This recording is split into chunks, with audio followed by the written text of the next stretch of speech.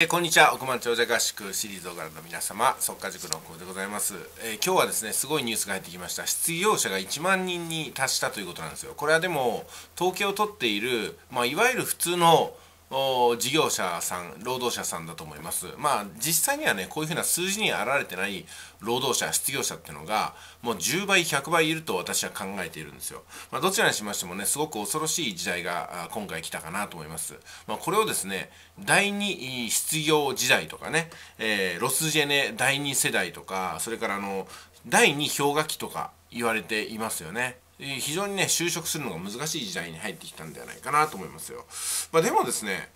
あのすでに私の考えでは10年前20年前からその就職学校に行って就職っていうコース自体がまあもうねあの過去のものになってるんではないかなと思うんですよ。ですんで就職氷河期時代っていうのは多分ねもうこれから永遠に起きると思うんですよ。むしろねその就職っていう風な割が合わなくって競争が激しいところに行ってどうするにはみたいな感覚はありますよね。ですんで私はねどちらかというと、まあ、自分で事業を起こすことの方があ結構早いんではないかなとしか思えないんですよ。うんでそうするとね私こういうこと言うとあのそんなに誰もがね起業で成功するわけないじゃないかっていうふうな当然な意見が出ます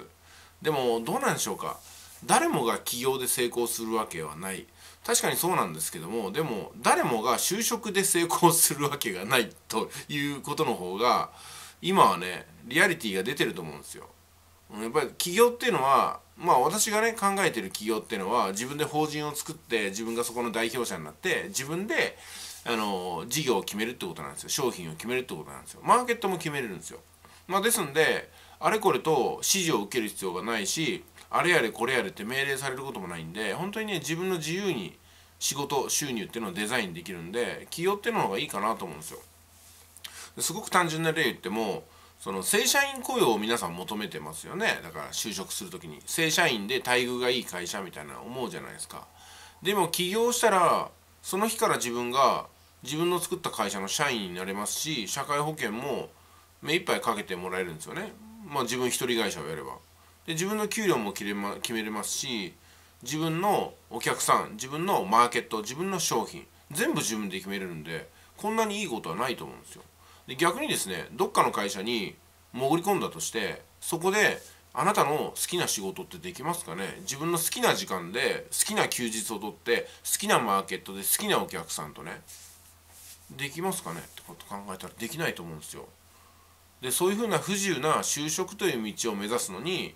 学校でやりたくもない勉強をしてしたくもない競争して周りを出し抜いて友達もできないような暮らしを送ってそれこそね登校拒否にもならずに運動会にも参加して文化祭にも参加して卒業証書を手にしてそれから生活指導を受けて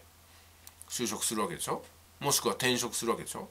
いや私に言わせればね誰もが起業が成功するわけがないっていうふうに言うんだったら誰もが就職や転職に成功するわけがない。いやむしろねほとんどの人がうまくいかないと言ってもいいでしょう。そのうまくいかないものに人生の大半をすり減らすわけですよね。自分の好きでもないようなことを一生懸命やるわけですよね。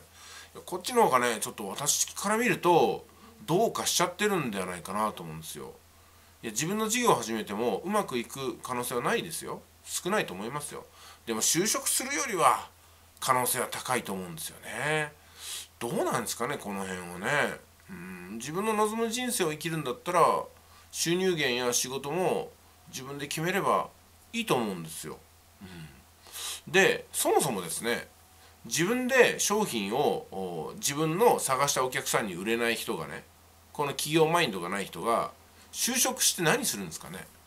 就職してもやることっていうのは自分で商品を作るか自分で集客をするか自分でお客様に商品をこれいくらですよって売るっていうのはここはね目の前のお客さんに対してアクションを起こすっていうのは起業してようが1階の社員だろうが同じことしてるんですよ。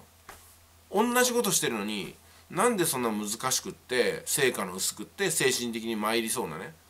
就職ってのを目指すんだろうな転職ってのを目指すんだろうなと。いやむしろこれから失業者は1万人どころじゃなくてねもう10万人とか20万人とか生まれると思うんですよ。でも就職という形では失業したけども起業という形では失業しない可能性の方が私は高いと思うんですよね、うん、これからの時代なくなっていく仕事が49%って言われてます。今ある仕事の半分がなくなるって言われてます。その代わりそれ以上の新しい仕事が生まれるっていうふうにも言われてるんですよ。じゃあですねその新しい仕事が生まれるのを待つんではなくてね誰かがそういう新しい仕事を作ってくれるのを待ってそして人を丁寧に募集してくれるのを待つんではなくて多分こういうのがこれからの時代受けるんじゃないかなってものを探してそこに自分でアプローチしていくっていうのは自分で起業していくっていうのはどうかなと思うんですよ。例えばね AI やロボットがいくら進化しても人に会いたいっていうニーズ人と話したいっていうニーズはなくならないと思うんですよ。人に相談したいとかね。電話で問い合わせをしたいっていうのはなくならないと思うんですよ。皆さんもどうですかね。なんか企業のホームページ見に行って Q&A、FAQ よくある質問ってあるじゃないですか。それを見に行くのとオペレーターさんと電話しながら自分の問題解決するのとどっち選びますかってことなんですよおそらくオペレーターさんに自分の生の声とか詳細を伝えて自分に合ったアドバイスをいただきたいなと思うはずなんですよね。ということは裏を返せばそういうふうなあ人間対人間で問題解決をしてくれるようなことを望む人が世の中に溢れてくるってことなんですよね。じゃあそこに自分が解決者として待ち構えてればいいんじゃないかなっていうのがこの YouTube 動画のね、えー、コンテンツの意味なんですよ。問題解決をしてあげるとかあそれからあ自分の思いを伝えてあげるとか人の思いを受け取ってあげるっていうね。簡単に仕事っていうのはできると思います。えそのうちの一つが私のこれ今やってるね YouTube なんですけどもここまでご覧いただいたってことは何がしかのねヒントそれから発見なるほどって思うことあったと思うんですよ。ねあるでしょ？じゃあ次もまた動画見てくださいよってことで次への誘導もできるってことなんですよね、えー、本日もね動画見ていただきましてありがとうございました。ちなみにですね縄跳び吉田さん。いやきついですよ。47歳の縄跳び。私もね数年前縄跳び買ってきてやったんですよ。そうするとね10回飛ぶのがやっとでしたね。であのやっぱり足首とかが痛むのとあと内臓の動きが上下に、ね、耐えかねるんですよ、まあ、ですんで私はトランポリンをすぐ買ってきてね。トランポリンで跳ねるようにしましたそうするとトランポリンも全身運動なんでとっても筋肉ねほぐすのにいいしあの筋トレ前にそのトランポリンっていうのは結構ね汗をじっとりかいてうん、縄跳びと同じぐらいの効果があるそうなんですよね。で縄跳びは今アスファルトとかが硬くって私の家の前でできませんので一定の空間もいりますしねちょっと広いところ出てないといけないんですぐはできませんけどもまあ縄跳びもねせっかく買ってあるんで、えー、トランポリンで跳ねるの慣れたらやってみようかと思います、えー、それではまた会いましょう。